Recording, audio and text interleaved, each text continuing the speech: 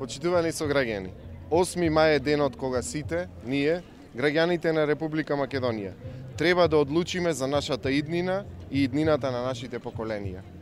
Ова е последната шанса да ја однесеме државата на вистинскиот пат.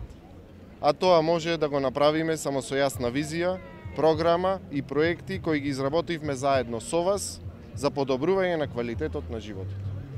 Нашите визии ги преточивме во програма со која ја бараме вашата поддршка на овие парламентарни избори. Едно од најважните теми и приоритети во нашата програма, а воедно и нидната влада предводена од ВМРО ДПМН е економијата. Наша примарна цел е зголемување на животниот стандард на граѓаните на Македонија и возможување на подобри услови за живот на секој човек. ВМРО ДПМН до 2028 година планира стапката на невработеност да ја намали до 7,5%. Тоа значи дека во следните 4 години во Република Македонија ќе се креираат околу 55.000 нови високоплатени работни места. А за да го постигнеме тоа, економската политика на идната влада на ВМРО ДПМН ќе биде насочена кон економска трансформација и на Прилеп и на Македонија преку креирање на поволна економска клима за компаниите.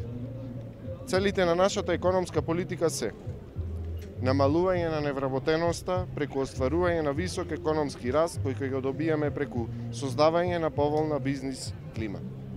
Директна поддршка на домашните фирми за нови инвестиции и отворање на нови работни места.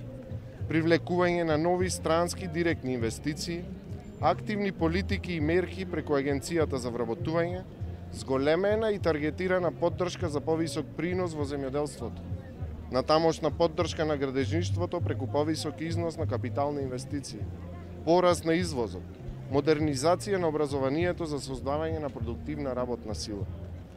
Ке биде подобрен животниот стандард на просветните, здравствените, културните и социјалните работници, на вработените во судството, полицијата и во војската и на сите вработени во јавната и државната администрација. Платите ќе се зголемуваат со растот на економијата За пензионерите ќе обезбедиме по 5000 денари повеќе за пензии уште во првата година од мандатот. Со тоа ќе придонесеме за подобар и поквалитетен живот на највозрасните граѓани. Затоа ве повикуваме на 8 мај да излезете масовно и да го заокружите број 2 и за листата на пратеници и број 2 за председател на државата Гордана Силјановска Давкова. За Македонија повторно да биде твоја, за Македонија повторно горда. Веќе го следите трендот на пораст на гласовите на нашето конто, односно ВМРО ДПМН е убедлив победник после првиот круг. Очекувам оваа разлика и бројот на гласовите да се зголемува на вториот круг, затоа што и атрактивноста на парламентарните избори е многу поголема од она што е на првиот круг на председателски избори.